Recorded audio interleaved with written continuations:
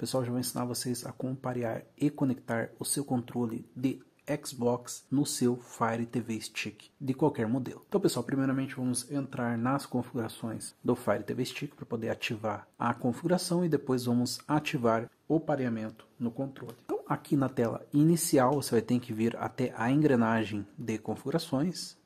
Então, vamos até a engrenagem de configurações. Aqui você vai descer a tela e vai vir até a opção aqui de controles e dispositivos Bluetooth.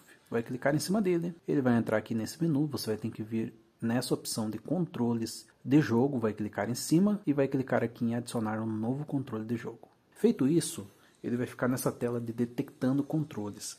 Agora você vai pegar o seu controle e você vai ativar ele, vai ligar ele primeiramente. Então você vai apertar o botão aqui do logo Xbox para ele poder ligar. E aqui em cima você tem que apertar esse botão aqui, ó, de 3 a 5 segundos, apertar e segurar.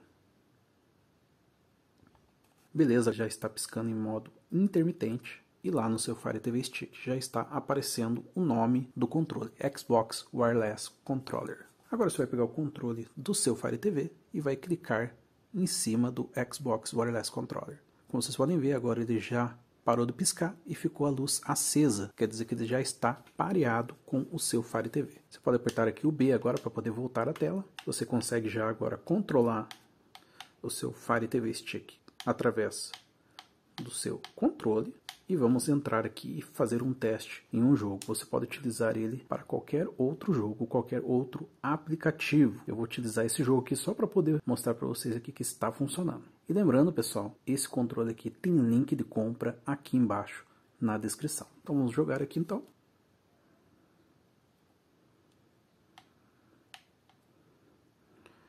Então os comandos estão funcionando aqui, o de acelerar, para poder virar aqui também. Sem lag, está respondendo super bem aos comandos. E você pode jogar os seus jogos favoritos na sua Fire TV Stick com o controle do Xbox.